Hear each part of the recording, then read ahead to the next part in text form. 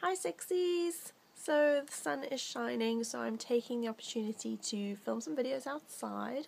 I just filmed my summer edition this or that tag which I will leave in the um, description box below and as you can see by the title I am doing the Pinterest tag. So the original Pinterest tag came from Christina Subfertile Frugalista and um, I will leave the link to her channel below and I think the tag is great because I am a pin addict as you will probably know if you've watched some of my videos or if you've read my blog actually um, and there are one, two, 15 questions relating to Pinterest um, and I will leave all my lovely little links below so you can go and have a look at what I'm talking about but I'm going to crack on and answer these questions.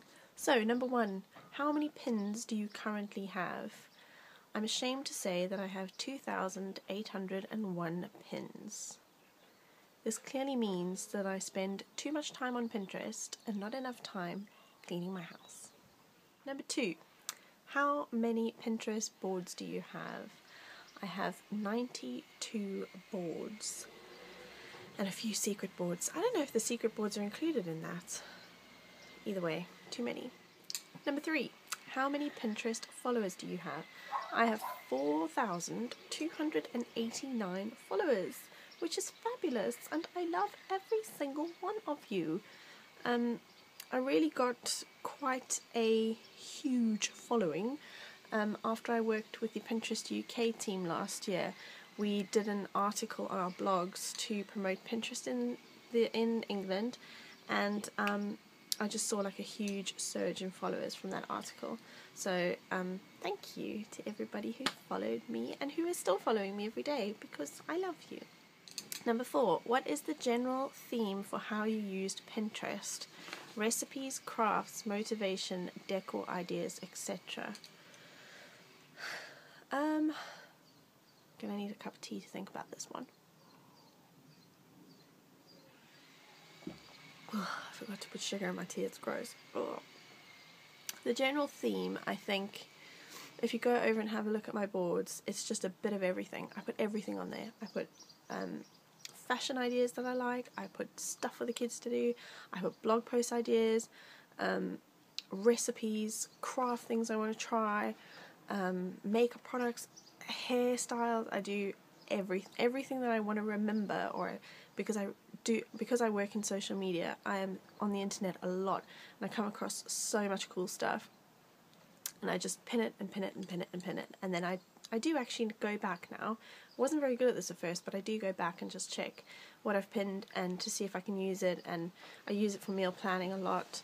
Um, I just use it for everything. I love it. Number 5, do you use do you utilize Pinterest to help boost traffic to your blog slash vlog. Uh, Pinterest is actually one of my main traffic sources to my blog. Um, I don't know about YouTube because I haven't, to be honest, checked that. Um, and I do try and go back and pin all of my blog posts that I think people would be interested in, or if it's a tutorial or something cool that I found, um, I do try and pin those as I go. Um, so I think it definitely does boost traffic. That's the very long answer to a very short question. Number six, do you pin to any community boards? I do belong to community boards, um, but I don't pin to them. I I don't really understand the whole thing. I know there's a webinar that um, Christina actually linked in her original video, which I will link below. Um, and I think they touched on community boards during that webinar, so I will, I need to read up on that. Number seven, do you have any Pinterest pet peeves? Um, no, not really. No, I just, I just love it. I love it. Number eight, what is your favorite board to pin to? I would say that is my Pin Addict board. I used to run a site called Pin Addicts, and it was a team of seven women, and we used to post every day um, and inspire people to actually use stuff that they'd found on Pinterest. So to create a recipe or a craft or an organization tool or something. Um, and I still tend to just pin to that board all the time because it has such a, va- a variety of different things, and I just I love to pin to that board you should check it out. Number nine, what is your favourite thing that you have completed? Just I love it. Um, I think I've actually lost a couple of crayons on the end which I need to replace. But I made this, I pinned it from Meg Durson's Meg Duerksen's blog. I will link it below. She is my favourite blogger of all time and I love it. You just stick the crayons on and then you just hair dry the hell out of them. And it makes this beautiful beautifulness. That's my favourite thing. Number 10. Do you Pinterest stalk anyone? No, I don't. Uh, number 11. Do you use, utilize secret boards and if so, for what? I do. I use it for projects that I want to blog about. So I get ideas and then I try and recreate it and then I'm going to blog about them or I use them a lot for work for content creation. So I find things that are relevant to my clients and I don't particularly want to post it on that day, so I just sort of link it to a secret board and then I'm ready to share it when I'm working on that particular theme for them. Um, so I do use secret boards. Number 12, have you ever attended a real life Pinterest party? No, I haven't. I'm not quite sure what that is. Number 13. What is one. Why am I so far into the camera? What is one thing that you would change about Pinterest if you could?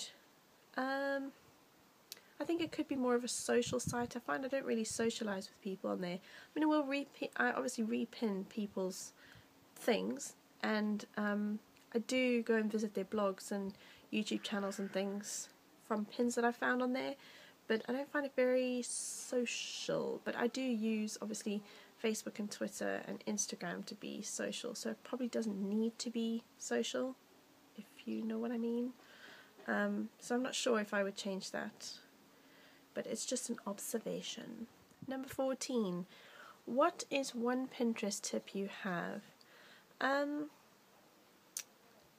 I would say what I've actually just created this week is a linky board. So I have a board which has just pinned all the different linkies that I can post my blog post to because I find that I miss out on the linkies so often because I'm too late or I can't remember where I found that one and then people are quite good on Twitter reminding me, you know, be great to have you join this week and I'm like, oh, I can't remember where I'm supposed to be and the most appropriate ones to post things to. And so I've just created a board just for linkies, and I find that that is actually helping me a lot. It's I just click onto that board, then I can see right Monday's this, Tuesday's that, Wednesday's here, and then off I go and I link away. And number 15 says tag three fellow pinners. So I am going to tag the Witt family. Um, she has an amazing channel, um, also an English YouTuber, and I've recently discovered her channel and I just love it. I will link that below. I'll link all three of these below. The second one is Helpful Mum and the third person I'm going to tag is But Why Mummy Why. Yes, you Morgana, I am tagging you. Okay, well that's it. If you like this, please like and comment or subscribe or all those wonderful things. All of my links are below and thank you very much for watching. I will see you soon. Bye! Bloopers. Ooh.